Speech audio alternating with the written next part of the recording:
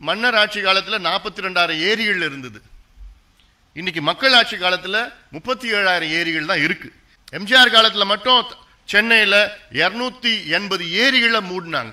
ஐம்பது ஆண்டு காலத்தில் ஆட்சியாளர்கள் என்ன பண்ணியிருக்கிறாங்கன்னா ஒரு கலெக்டர் ஆஃபீஸ் கட்டணுமா? ஏரியில் தான் கட்டணும். நேரு ஸ்டேடியம் பார்த்துருப்பீங்களே அது ஏரியில் தான் கட்டியிருக்காங்க.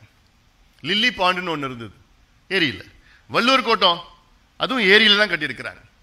கோயம்பேடு பஸ் ஸ்டாண்ட் அதுவும் ஏரியில தான் கட்டியிருக்கிறாங்க. எஸ்ஏஎஃப் கேம்ஸ் வில்லேஜ் அதுவும் ஏரியில தான் கட்டியிருக்கிறாங்க.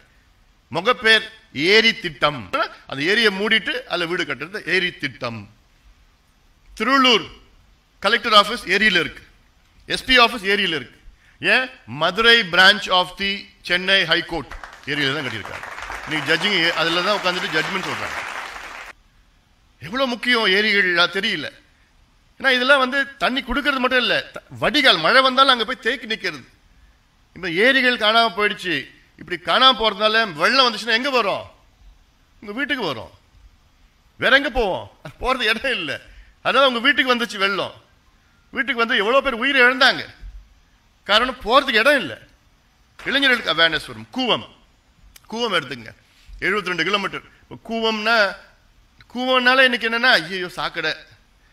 நம்ம we use it colloquially we use ஐயா அது ஒரு கூவம்டா யாராவது பார்த்து இல்லை திட்டணுமா? நீ ஒரு கூவம் அப்படி சொன்ன அப்படி தான் பண்ணிட்டு இருக்கோம். ஆனால் நான் சொல்ல முப்பது ஆண்டுகளுக்கு முன்பு அந்த குடிக்கிற தண்ணியை பூஜை பண்ணாங்க கோவிலில். இட் ஆல் ஹேப்பன் இந்த லாஸ்ட் தேர்ட்டி இயர்ஸ் ஆனால் கூவத்தில் இது வரைக்கும் ஐ திங்க் மேபி அபவுட் ஒரு twelve thousand to fifteen thousand crores invest பண்ணியிருக்கிறான் எதுக்கு? கூவத்தை சுத்தப்படுத்தணும்னு. சுத்தப்படுத்த முடியுமா? முடியும். முடிச்சிருக்காங்களா? இல்ல. கூவ நான் சொன்ன 72 ரெண்டு கிலோமீட்டர் சொன்னிருக்குல்ல இந்த 72 ரெண்டு கிலோமீட்டர்ல இன்னைக்கும் அறுபது கிலோமீட்டர்ல கூவத்துல தண்ணி குடிக்கலாம். இன்னைக்கு குடிக்கலாம். அதில் இன்னைக்கு விவசாயம் பண்றாங்க தண்ணி வச்சுக்கிட்டு. மீதி இருக்கிற பன்னெண்டு கிலோமீட்டர்ல தான் சாக்கடையா மாறி இருக்கு சென்னை எப்போ உள்ள வருதோ சாக்கடையா மாறிடுச்சு. ஏன்னா there are so much of examples in the world South Korea Seoul example இருக்கு. ரெட் ரிவன் யூஎஸ்ல இருக்கு. சென்ட் ஆண்ட்ரியாஸ் ரிவர் இருக்கு.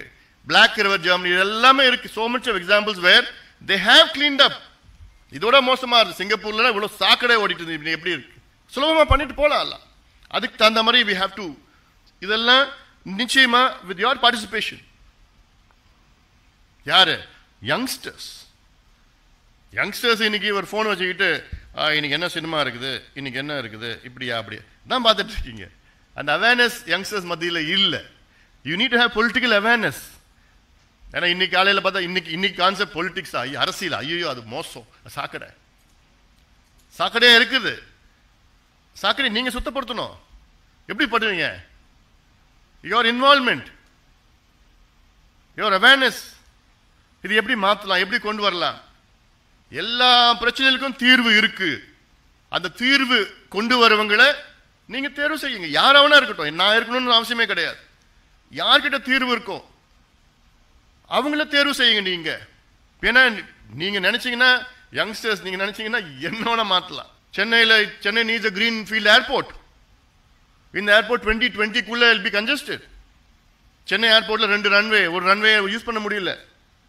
அது ஏன் யூஸ் பண்ண முடியல? அந்த that part of the flood அது. அந்த ஒரு ரன்வேல செகண்ட் ரன்வேல என்ன பண்ணியிருக்காங்க அதுக்கு கீழே அடையாறு ஆறு வருது. ஆற்றுக்கு மேலே ரன்வே கட்டியிருக்கான். நம்ம புத்திசாலிங்க.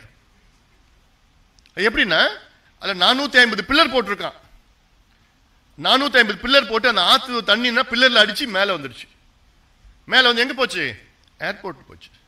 நம்ம ஃப்ளைட்ஸ்லாம் நிறைய பார்த்து மிதக்கு தண்ணியில் மிதச்சு இல்லை காரணம் அந்த ஏர்போர்ட் இந்த ஆற்றுக்கு மேலே ரன்வே கட்டி வச்சுருக்காங்க these are all the அது வெளியில் சொல்ல மாட்டாங்க. ஏன்னா பாதி பிரச்சனை அவங்க தான் they're cause for the problem